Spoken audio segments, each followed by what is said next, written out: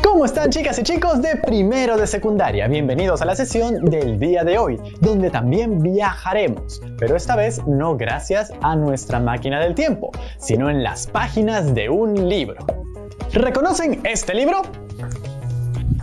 ¡Ja! Voy a recitarles una parte que me encanta. Permítanme. No soy para ti más que un zorro, parecido a otros cien mil zorros. Pero si me domesticas, tendremos necesidad uno del otro. Tú serás para mí único en el mundo y yo seré para ti único en el mundo. El día de hoy hablaremos sobre El Principito de Antoine de Saint-Exupéry. Es un libro muy querido por grandes y chicos y que contiene entre sus páginas una muy interesante crítica a la adultez. Y para profundizar más y conocer a fondo el principito, los voy a dejar con mi buena amiga Jimena Lindo e Historias de Papel, donde ella va a interpretar a todos los personajes de la obra. Y mientras ven esta interpretación, les pido que tengan en mente las siguientes preguntas. 1.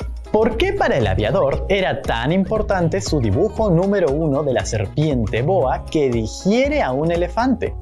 ¿Y qué mensaje nos da de la interpretación que tuvieron las personas mayores de este dibujo en comparación con la interpretación del principito? 2. ¿Qué caracterizaba al principito? Descríbelo brevemente. 3. ¿Qué caracteriza la amistad entre el principito y el zorro? ¿Qué significa domesticar en esta relación? 4. ¿Qué caracteriza la relación entre el principito y la rosa? Y por último, ¿a qué se refiere la frase lo esencial es invisible a los ojos? Explica con tus palabras. ¿Lo tienen? Excelente, entonces vamos con el video. ¡Espera! Rodrigo, ¿cómo es posible que lances el video sin mí? Después los chicos se van a quejar. ¡Tocino! Ok, está bien, tienes toda la razón. A veces no sé a quién prefieren más, si a ti o a mí como conductor. ¿Qué te parece si mandamos el video juntos? ¡Vamos con el video! Perfecto, entonces vamos con el video.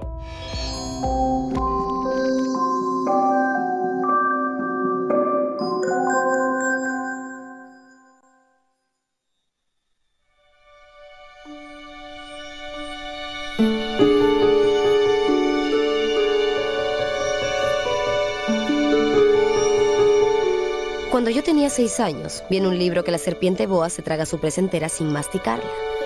Reflexioné mucho en ese momento y logré trazar mi primer dibujo. Enseñé mi obra a las personas mayores y les pregunté si les daba miedo. ¿Por qué habría de asustar un sombrero? Me respondieron. Pero mi dibujo no representaba un sombrero, sino una serpiente boa que dijera un elefante.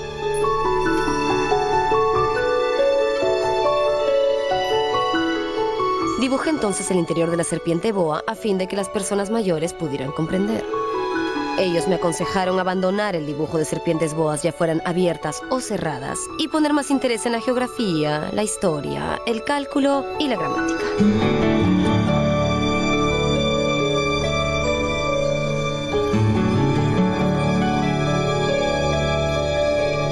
Así fue como abandoné una magnífica carrera de pintor y tuve pues que elegir otro oficio pilotear aviones.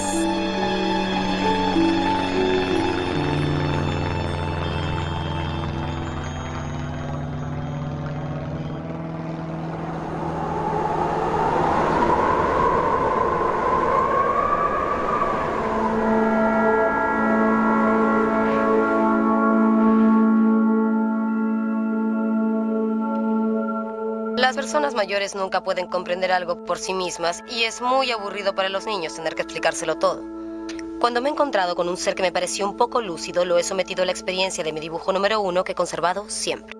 Quería saber si verdaderamente era un ser comprensivo e invariablemente me respondían siempre, es un sombrero.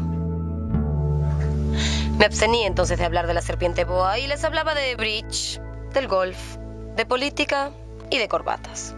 Y mi interlocutor se sentía entonces muy contento de conocer a un hombre tan razonable.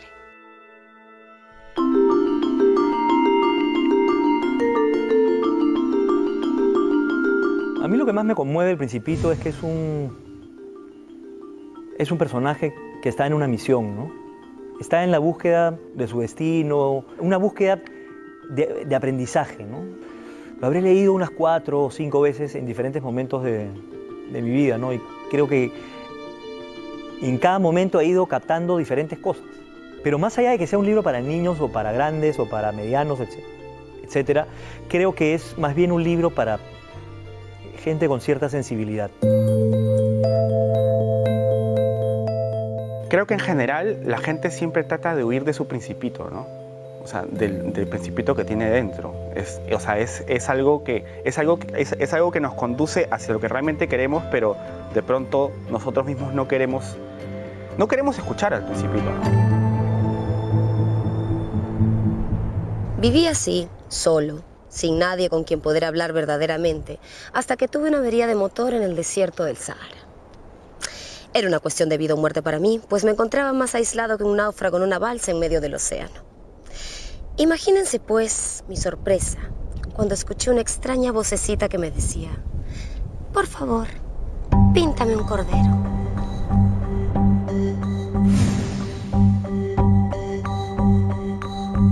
Ahí tienen el mejor retrato que más tarde logré hacer de él.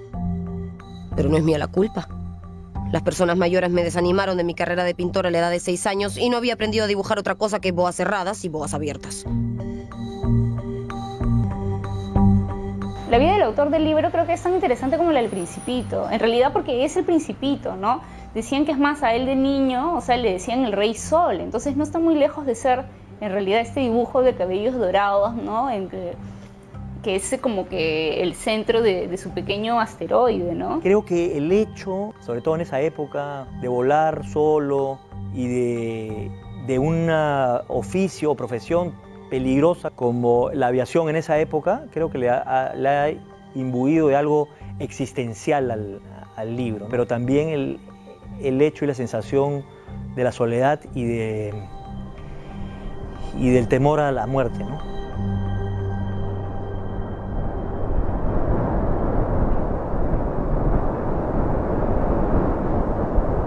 ¿Qué haces tú por aquí? Por favor, píntame un cordero. Cuando el misterio es demasiado impresionante, es imposible desobedecer. Y por absurdo que aquello me pareciera, a mil millas de distancia de todo lugar habitado y en peligro de muerte, saqué de mi bolsillo una hoja de papel y una pluma fuente. Como nunca había dibujado un cordero, rehice para él uno de los dos únicos dibujos que yo era capaz de realizar, el de la serpiente boa cerrada y quedé estupefacto cuando oí decir al hombrecito, no, no, yo no quiero un elefante en una serpiente. La serpiente es muy peligrosa y el elefante ocupa mucho sitio. En mi tierra es todo muy pequeño y necesito que me pintes un cordero. Esto es una caja. El cordero que quieres está ahí adentro.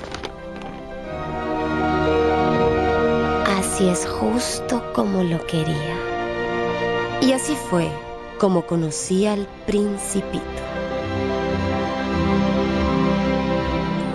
El principito me hacía muchas preguntas y jamás parecía oír las mías. ¿Qué cosa es esa? No es una cosa. Eso vuela. Es un avión. Mi avión. Entonces, ¿tú también vienes del cielo? ¿De qué planeta eres? Hay varios temas que después he ido yo descubriendo en realidad que el libro eh, explora, ¿no? Pero creo que el, el, más importante es el tema de la amistad, por sobre todas las cosas, ¿no? El Principito es un descubrir de, de frases, de códigos que encajan contigo en, en algunas cosas. Tú puedes leer una sola frase que no tiene nada que ver o que nunca la has tomado en cuenta y de pronto en un momento de tu vida esa frase dices, uy, me marcó la vida, ¿no? Cada día aprendí algo nuevo sobre el planeta del Principito. ¿Es verdad que los corderos se comen los arbustos? Sí, es cierto. Entonces, ¿se comen también los baobabs? Los baobabs no son arbustos, son árboles tan grandes como iglesias. Antes de crecer son muy pequeñitos. Y si no se arrancan a tiempo, crecen por todo el planeta y lo perforan con sus raíces hasta hacerlo estallar. Es una cuestión de disciplina. Cuando uno termina de arreglarse, tiene que hacer cuidadosamente la limpieza de todo el planeta y arrancar los baobabs cuando se distinguen de los rosales, a los que se parecen mucho cuando son pequeñitos. Es una tarea muy fastidiosa, pero muy fácil. Si tú lo dices. Me gustan mucho las puestas de sol. Vamos a ver una puesta de sol. Tendremos que esperar. ¿Esperar qué? Que el sol se ponga. Siempre me creo que estoy en mi planeta. Allí basta con jalar una silla para ver el crepúsculo cada vez que quieras. Una vez vi ponerse el sol 43 veces. ¿Sabes? Cuando uno está verdaderamente triste, le gusta ver las puestas de sol. El día que la viste 43 veces, estabas muy triste, ¿verdad?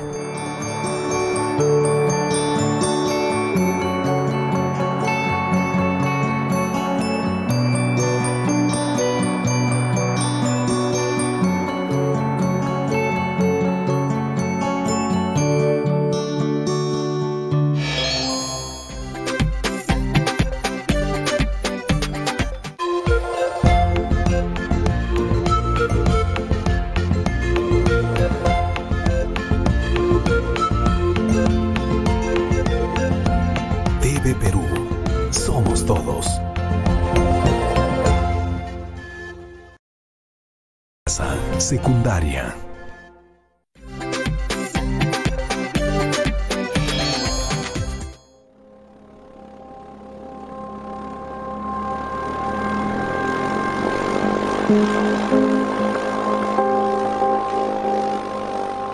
Yo creo que el aviador en realidad es alguien que simplemente entró al mundo de los grandes, pero con cierto recelo, ¿no? Siempre buscando estar abierto a otras realidades, digamos.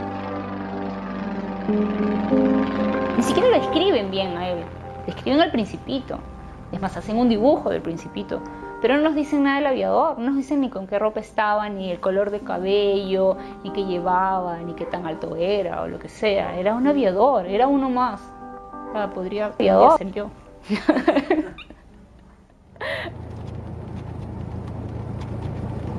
Si un cordero se come los arbustos, se comerá también las flores, ¿no? Los corderos se comen todo lo que encuentran. ¿Y también las flores que tienen espinas? Sí, también las flores que tienen espinas. Entonces, ¿para qué les sirven las espinas? Las espinas no sirven para nada. Son pura maldad de las flores. Entonces, ¿tú crees que las flores... No, no creo nada. Te he respondido cualquier cosa para que te calles. Tengo que arreglar esto antes de que se acabe el agua. Hablas como las personas mayores. Lo confundes todo, todo lo mezclas. Si alguien ama una flor de la que solo existe un ejemplar en millones y millones de estrellas, basta con que la mires para ser feliz. Y el principito señaló el cielo.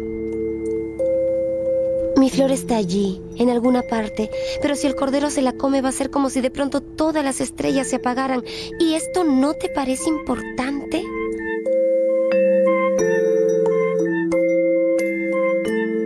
Puede amar tanto el principito a la rosa? Porque además la llama como un ser vanidoso, ¿no? Es un ser que se ufana de su hermosura, ¿no? la quiere porque es suya, ¿no? No porque sea perfecta. Imagino que, que eso es lo que eso es lo que nos quieren contar de alguna manera, ¿no? En el planeta del Principito nació una flor que un día germinó sin que nadie supiera cómo.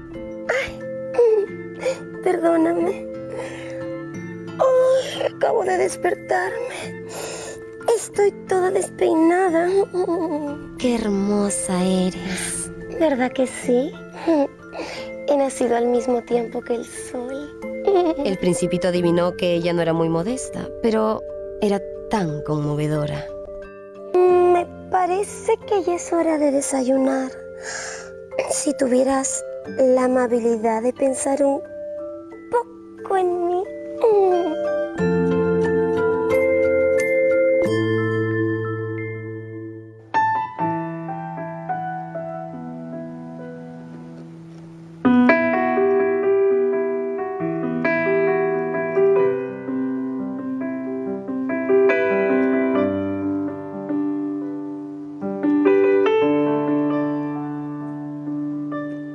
Una parte importante es que la rosa lo deja partir. La rosa, digamos que renuncia un poco a su orgullo y, digamos, a, a como la habían pintado y de pronto también la, la humanizan un poco, ¿no? O sea, la, ponen eh, de los dos lados y el principito sale como, tratando de evitar un poco el dolor, ¿no? Este dolor de la decepción.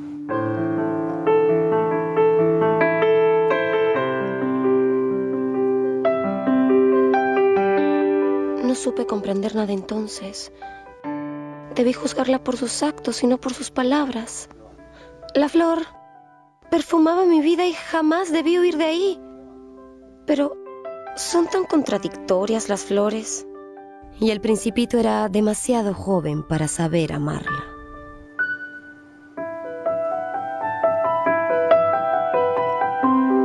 Adiós. Voy a comenzar mi viaje. Adiós. El principito se sorprendió por la ausencia de reproches. Soy una tonta. Perdóname. Procura ser feliz y no prolongues más tu despedida. La flor no quería que la viese llorar. Era tan orgullosa.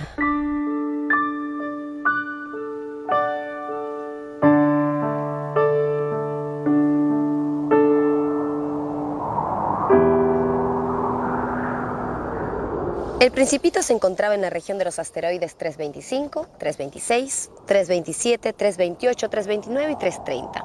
Y para ocupar un poco el tiempo e instruirse al mismo tiempo, decidió visitarlos. El primero estaba habitado por un rey. Un súbdito. Aproxímate para verte mejor. El principito se sorprendió por la bienvenida. Ignoraba que para los reyes todos los hombres son súbditos. ¿Puedo sentarme? Te ordeno que te sientes. Señor, perdóneme si le pregunto. Te ordeno que me preguntes.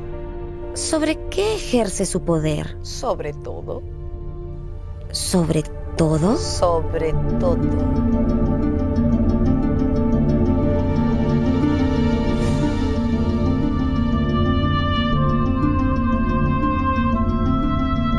Haces el viaje por los planetas y haces el viaje por gente que conoces de todas maneras. Eso es, eso es, o sea, y ese es un punto de identificación importante para la obra, ¿no? El siguiente planeta estaba habitado por un bebedor. ¿Qué haces ahí? Bebo ¿Qué bebes? para olvidar ¿Para olvidar qué? que siento vergüenza, ¿Vergüenza de qué? vergüenza de beber. Todos estos personajes son personajes que solamente tienen un tema y son gente que no sale más allá, no mira más allá de sus narices, ¿no? El cuarto planeta estaba ocupado por un hombre de negocios. 3 más 2, 5 más 7, 12 más 3, 15 más lo anterior, 501.622.731. ¿500 millones de qué? De las cositas que brillan. ¿Abejas? Estrellas. No me molestes, estoy muy ocupada. ¿Y qué haces tú con 500 millones de estrellas? 501.622.731. Yo soy un hombre serio y exacto. ¿Y qué haces con esas estrellas? Nada, las poseo. Me sirven para ser rico. ¿Y de qué te sirve ser rico? Para comprar más estrellas cuando alguien las descubre. Administro. Yo tengo una flor y tres volcanes a los que desollino todas las semanas. Les es útil que yo las posea, pero tú no eres nada útil para las estrellas. El hombre de negocios abrió la boca, pero no encontró respuesta.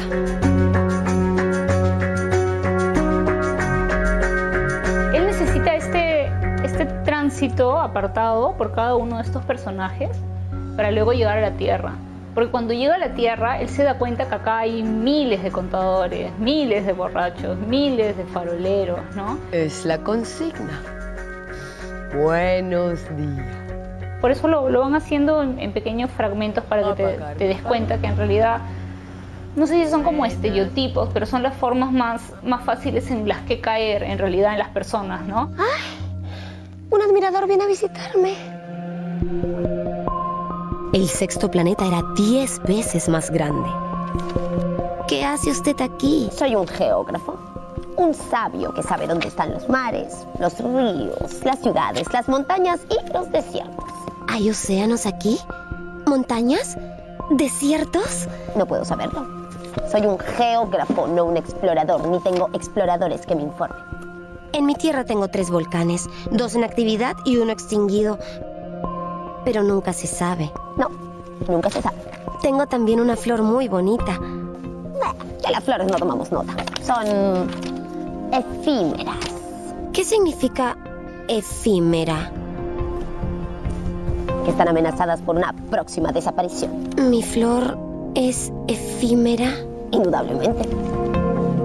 Por primera vez, el principito se arrepintió de haber dejado su planeta y partió pensando en su flor. El séptimo planeta que visitó fue la Tierra.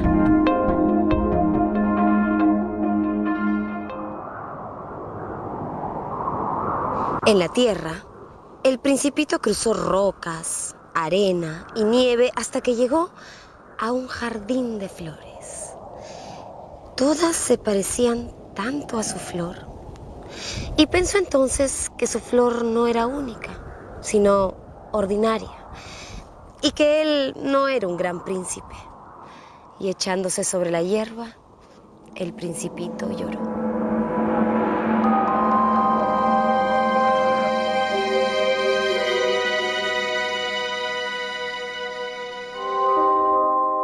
El principito representa también a ese, a ese mundo en peligro que cada uno tiene cuando va creciendo. ¿no? ¿Qué hacer con esas otras plantas que crecen en, en tu vida? ¿no? O sea, cómo cuidar lo más preciado tú solo, ¿no? A veces buscando el consejo o quién podría ayudarte.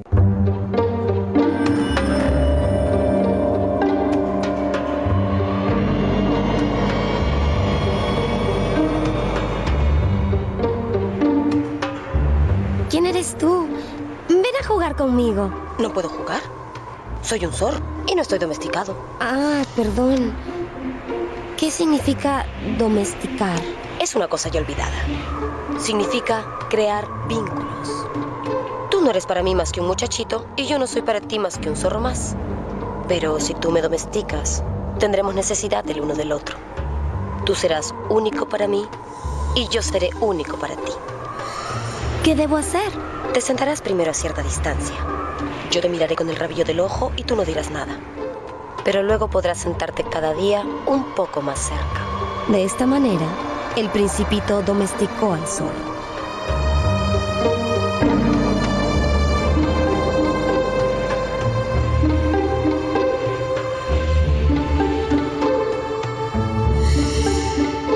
Yo creo que el zorro es el cable de tierra que todos queremos tener. De verdad que yo sería feliz con, con un zorro eh, cada cierto tiempo que, que, que me enrumbe así el- por el camino.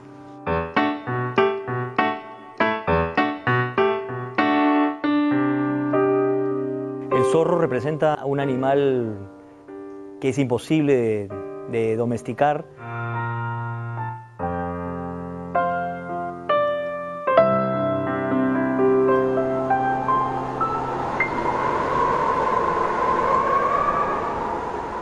Llegó la hora de la partida. Lloraré. Tuya es la culpa. Yo no quería hacerte daño, pero tú has querido que te haga mi amigo y ahora vas a llorar. No ganas nada. Gano. Vete a ver las rosas y comprenderás que la tuya es única en el mundo. ¿Por qué pasa eso? Porque lo esencial es invisible a los ojos. Lo esencial es invisible a los ojos.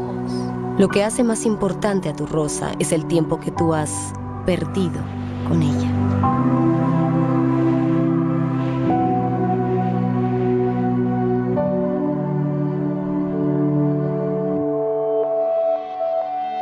Hay personas que piensan que el final es como un poco triste, ¿no? Este personaje que es el principito es el niño interior del aviador y regresa donde necesita volver. Yo creo que él tuvo en realidad este accidente en medio del desierto.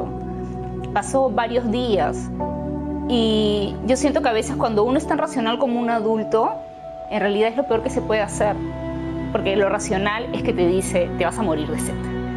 Yo creo que él dice que se encontró de nuevo con este personaje justamente porque lo necesitaba. Su niño interior que le decía, no, va a pasar algo, vas a arreglarlo, vas a poder.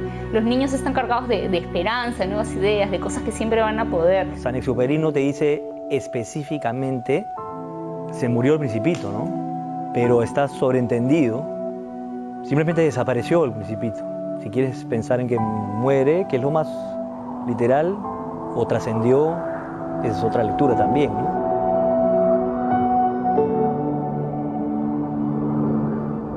Mi encuentro con el principito fue hace ya seis años.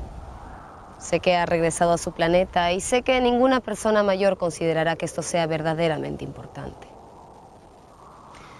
Este es para mí el paisaje más hermoso y más triste del mundo.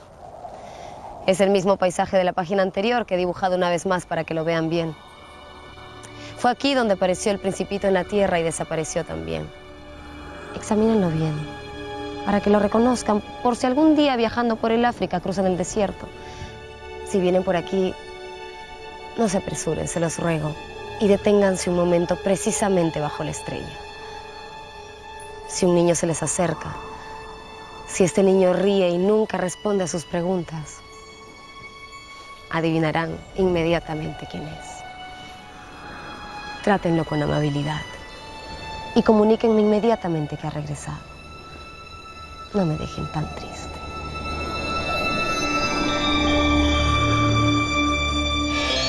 ¿Y Tocino? ¿Qué te pareció? Oh, es el mejor libro de la vida. Quiero leerlo. ¿Me lo prestas? Claro que sí, mi porcino amigo. Y así como Tocino, yo estoy seguro que ustedes en casa se han quedado con ganas de saber mucho más sobre este personaje. ¿Cómo era? ¿Qué es lo que buscaba? Y cómo comprendía cosas como el amor, la adultez y la amistad. Es verdad, ese principito es así como yo, un ser fantástico que se hace muchas preguntas inteligentes. Muy cierto, Tocino. Y hablando de preguntas inteligentes, es momento de presentar el reto del día, que no consiste solamente en responder las preguntas que les dejamos al inicio del programa, sino también en leer la obra de nuestro buen amigo Antoine. Luego de leer la obra, quiero que elaboren un comentario acerca de la manera en la cual el principito entendía los temas como la adultez y si esta manera de pensar sería válida en la actualidad. Y ustedes chicos en casa, no olviden guardar el reto del día en su portafolio. Oh, ellos ya saben eso. Ahora lee, lee, por favor. Ya, Tocino, ya, ya abrí el libro. ¿Estás listo? No soy para ti más que un chanchito de alcancía, parecido a otros cien mil chanchitos. ¡Alguien ha cambiado el texto! Oh, oh, oh, oh, oh. Lo que pasa es que no has leído con los ojos, sino con el corazón. ¿Qué? ¿Ahora tú eres el que me domestica a mí? Claro, yo soy responsable de mi humano. Oh, oh, oh, oh. Ok, ok. Nos vemos en la próxima sesión, chicos. Chao, chao.